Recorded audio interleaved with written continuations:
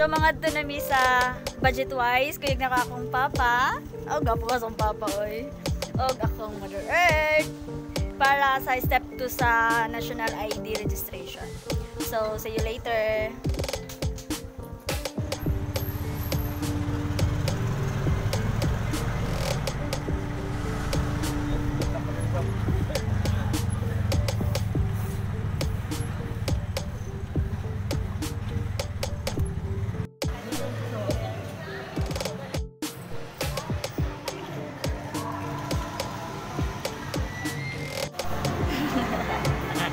Nagulat na lang may tawag.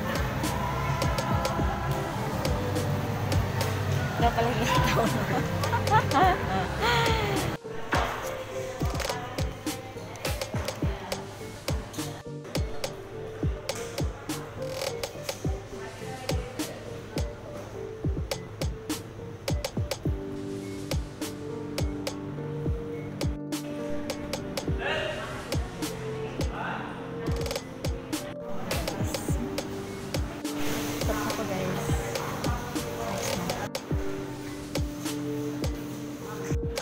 mama nagtabi.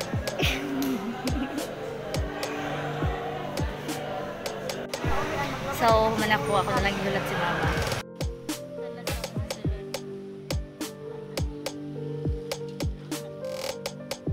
Nai-coolmate akong kuyo ko.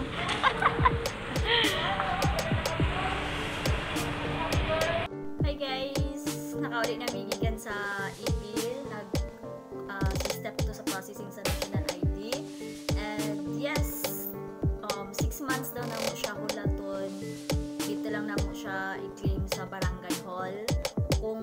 daw, dito daw na siya sa post office i-check. Baka dito alam.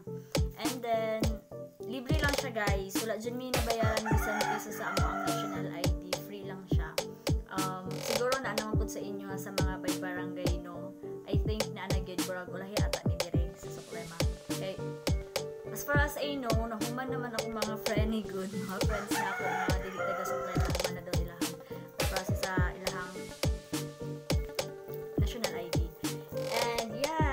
yeah that's all for today's video guys. And hope kita tanan makakuha ta og national ID for free. Kay free ra gyud siya. Baka next time di na siya free di ba? So grab na tong opportunity nga libre na sa tong barangay di ba? Kay 850 man good siguro na siya. I guess not sure. 850 siya dito sa Manila kay that time. Kuha na ta national ID pero wala na dayon